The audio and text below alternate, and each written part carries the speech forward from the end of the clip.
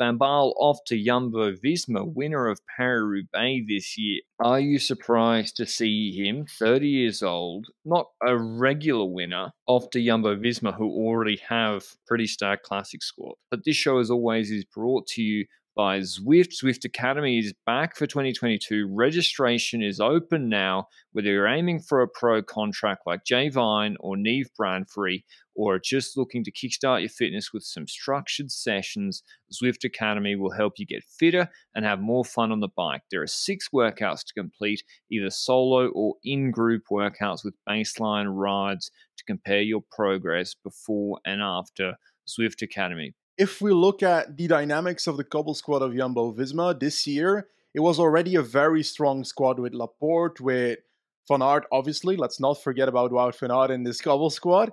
If you add Van Baarle to that, I would argue that the chances of all three to win a race increase.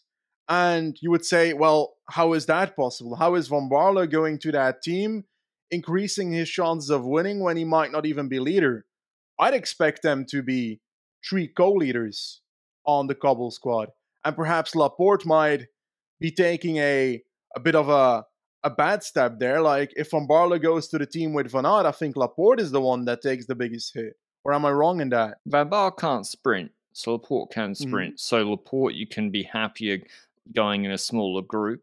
Uh, Van Baarle needs to go solo like he did in Roubaix. He, I mean, his season second in Flanders, first at Roubaix, good, probably domestic in Amstel, which Ineos also won with Kwiatkowski, eighth in E3, which Jumbo dominated. He, we haven't mentioned him as a stage racing domestique Benji. Uh, he did the Tour de Suisse, Tour de France, and he's doing the Vuelta this year. He's had a, he's been a busy boy. Um, I see more for their classics team. I think because when I think of their uh, Tour de France squad, we both think Roglic and Jonas should rinse and repeat. I almost wouldn't change the team from this year. It depends on the parcours, obviously, but like, yeah. I would rather have Van Baarle focus on the best classic season, which Jumbo Visma didn't win a monument in spring this year. It was the missing piece of their season. Focused on classics in spring and Benoot, like Benoot was really good, really, really good in the Tour de France. Now Van Baarle has probably done in his career in 2018 yeah. some better climbing performances, but but no, it was really good. I would rather he focus on, as you said, the classics, and yeah, like Paris is a great example. Someone to make sure. I mean, Wout Van Aert needs to learn a little bit, perhaps, to ride with someone like Van Baarle he doesn't need to close attacks. He doesn't need to push on the front. Let Van Baarle initiate things as well. But yeah, he's Dutch.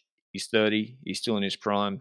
He's got good years in it. like it makes sense from a marketing perspective. Um, what do you yes. expect? Like, do you think he will be sacrificing opportunities, or do you think they will go with like the multi-leader stuff, even in the classics? I believe they should go for multi-leader strategies in the classics. I think that's what works a lot of the time when it comes to Quickstep in the past. And the stronger Quickstep became, the more dominant they were because they were strong in the whiff. And if one rider, one leader has a bad day, if one leader crashes into a ditch like Laporte in RVV, you've got an extra leader next to that that can pick up the pieces where they are left off with. And there's also the aspect of strategy in those races. Van Baarle is indeed the rider that goes relatively early in races and tries to benefit from group dynamics and we saw that in Roubaix, like you mentioned, he attacked away in a situation where Van and Van Aert were in the same group. And I think it was also when Van Aert had punctures and so forth. But basically, Van and Van Aert had to respond to every attack that happened in those groups. And certainly they look at each other to close a, a gap. And now with Van Aert being in that group, Van Baarle could either attack if a rider, a stronger sprinter is still in the group there, like a Pedersen, for example. If Pedersen is in the group with Van Aert, in that situation, Van Baarle can try and attack away while Van Aert is a second option, the sprinting option, while they put Pedersen under pressure at the end of a Roubaix, for example. That's the situations I've got in my head there. And I think that benefits every single rider from that. There's also the factor to it, like you spoke about the G the the Grand Tour schedule for Van Baarle. Is there an effect? This is a conspiracy theory by Benji Naesen written right now. Do you think there's a possibility that Jumbo Visma is also thinking if we get Van to our team, he's very strong in the Cobble Classic, he strengthens us there, he's an option to become a Dennis like character in a Grand Tour, to be that domestique that Dennis couldn't be this year because he was injured basically or ill before the Tour de France. But they're also taking away strength from Ineos. I Is there a that's important. possibility? Okay. Ineos, apart from Pidcock, we will remains to be seen what he does in the classics next year. Breakout classics season last year.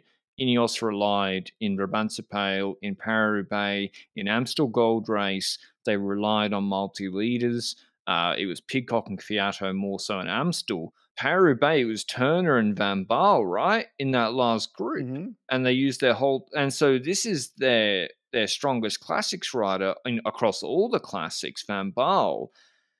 Sheffield is coming. yeah, he's coming, but like Fred Wright came 10th in RVV. No one ever, oh, top 10. People forget that. Like, is, uh, can we pencil in Sheffield for fifth at RVV next year? Maybe. Yes. But I'm calling it. you're penciling it in. But Van Baarle literally came second this year. Now, that was because Pogacar kind of messed up the finish.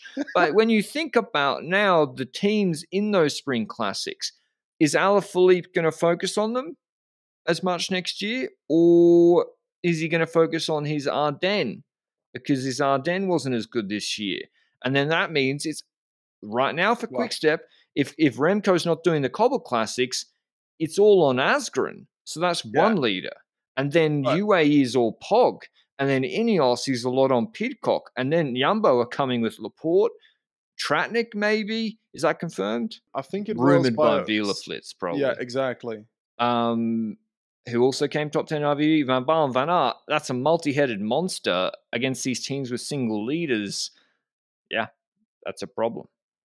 Yeah, certainly a problem in that effect. And the thing is with Quickstep as well, we don't know how strong they're going to be next year compared to this year with all the stuff they had going on, like you mentioned.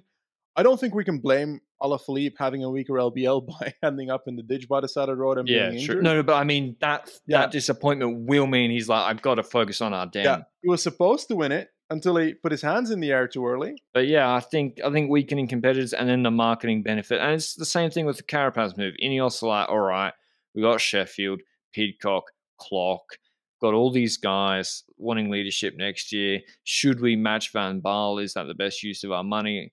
Eh, maybe not. That's probably and he probably wants to go to a Dutch team, or maybe he doesn't. I don't know. But